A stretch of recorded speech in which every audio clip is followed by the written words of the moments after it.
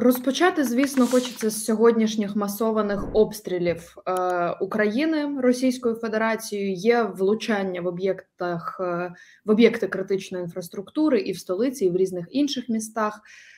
Е, є влучання і в житлові будинки в Київській області, і не тільки. Чому, на вашу думку, сьогодні чому йдуть на масові обстріли, незважаючи на те, що як повідомляла українська влада, як повідомляв інститут вивчення війни, запас високоточних ракет в Росії вже майже вичерпано? Ну він майже, але він ще є. Ще на декілька хвиль обстрілів в Росії буде, і це фактично їх остання надія зараз. Таким чином вони намагаються перевести війну в тилові території України лінії фронту, де вони провалюються по всім напрямкам. Фактично, зараз вони зменшили для себе лінію фронту, закріпилися, і в принципі Росія стоїть в оборонній позиції, не даючи українським військам прориватися. Українські війська прощупують зараз, де буде наступна слабка ланка в російській обороні для того, щоб з найменшими втратами піти в контрнаступ. І через це росіяни єдине, що можуть сьогодні робити, вони єдине в чому домінують. Це в відстані можливості обстрілів за рахунок якраз ракет повітря, земля, земля, земля як крилатих, так і балістичних. На морі Росія провалилася, вони не контролюють Чорне море. В повітря повітряні бої Росія провалилася, їм не вдалося знищити українське протиповітряне протиракетну оборону. Відповідно, літаками вони вже давним-давно не залітають вглиб України, як це було в перші тижні і місяці війни. А і на суші, як ми вже сказали, також вони в глухій обороні. Відповідно, єдиний їх шанс, єдиний їх можливість це зараз затероризувати ракетами, б'ючи по критичній інфраструктурі, себто роблячи українцям якомога більш нестерпнішим життя. Для того щоб спробувати спровокувати певне соціально-економічне і соціальне ширше соціально-політичне напруження в Росії. Зараз ідея фікс, що українці розвернуться проти української влади і скажуть, доколі можна це терпіти, дайте світло, води і далі по списку. Ну це вчергово нам показує, наскільки росіяни погано розуміють українців, і наскільки вони взагалі поза контекстом знаходяться українським, і наскільки для них е, є огидною сама думка про те, що суспільство може бути суб'єктним. Тобто вони вважають, що суспільство існує в моделі стимул реакція, і його або власна влада, або чужа влада може просто кнутом бити, і воно буде реагувати автоматично огризаючись, когось скидаючи і далі по списку. Ем, таке примітивне розуміння суспільства, взагалі зневага до суб'єктного суспільства, вона і провокує от подібну історію. Ну вона провальна з самого початку. Зрозуміло, що українці зараз мобілізовані на протистояння з Росією до перемоги, і це та пастка, в яку Росія сама себе загнала, бо така жорстокість, а Росія інакше війну вести не вміє.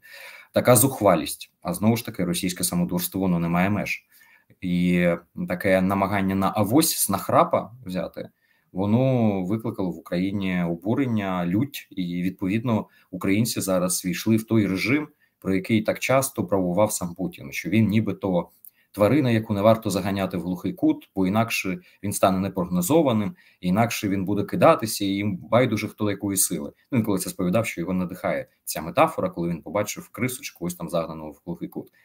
Так, от не Росія там. Росії вдалося загнати українське суспільство в ситуацію екстенційного виклику, виживання, і відповідно ми зараз в тому куті, в якому або ми перемагаємо, або Росія нас знищує. І відповідно це в нас немає варіантів, немає путів відступу, і тому українське суспільство закусило у діла і готове до протистояння і до перемоги над Росією. Те, що собі не могли уявити на заході, і навіть сказати вголос боялися, що Росія може програти. Україна з буквально з декількох місяців війни, як тільки переломилась ситуація, а з літа вже було перехоплено серед літа воєнну ініціативу в Росії, то українці повний голос говорять: ні, Росія не просто може програти, Росія має програти, Росія програє. Тому зараз ці обстріли, тому зараз терор. Це агонія режиму. Росія бореться за те, щоб не перемогти. Вони вже розуміють, що вони в цій війні перемогти не можуть. Останні інсайди з Кремля, соціологія по Росії. Вони всі говорять про це, що таке розуміння вже є, і воно вже починає артикулюватися гаврящими головами кремлівськими для того, щоб готувати суспільство. Ну, наприклад, Пісков говорить про те, що скидати українську владу, нібито і не мали наміру. Ну да, до того просто вони не називали її владою, казали, що це купка нацистів і наркоманів, і зверталися до українських військових, які нібито мають скинути їх. Ну знову ж таки, абсолютно бред для будь-якого українця було зрозуміло, наскільки це а, абсолютно неадекватна оцінка реальності, але тим не менш, а тут різко вже український партнер, українська законна влада і далі по списку. Їх апетити починають спадати, тому що знаєте, є розхожа фраза, що апетит нарощується під час їжі. Ну от складно нарощувати апетит, коли в тебе з кожним укусом менше зубів стає. А Україна активно вибиває ці зуби Росії. Тому і апетити скорочуються. Тому і от такий терор для того, щоб не програти в цій війні, спробувати дотиснути українське суспільство, українську владу і світ до того, щоб Україна прийняла якийсь компромісний варіант наразі, який направду для нас може обернутися, не може, а в такому випадку він би обернувся би для нас і ще більш кровавим протистоянням, бо Росія повернулася, перегрупувавшись. Ми вже проходили мінськ 1 мінськ 2 і мінськ 3 тому бути не може. На це немає компромісний варіант. Це замороження війни зараз, так. Е, війна не заморозиться. Війна буде зараз проходити в гарячій теплій фазі. Все буде залежати від кліматичної ситуації і від е, ступеня виснаженості української російської армії.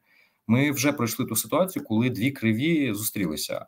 Російська армія втрачає свою бойову міць, і в них нисходящий тренд. А Україна навпаки нарощує, тому що є західна допомога, тому що є налаштованість суспільства, є певна адаптивність до тієї ситуації, в якій ми опинилися.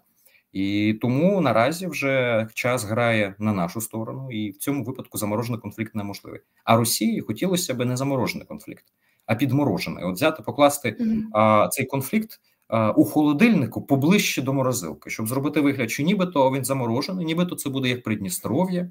А направду для них потрібен сценарій 2014-2022 рік, тільки в а, стиснутому варіанті, хоча б місяці на три до весни.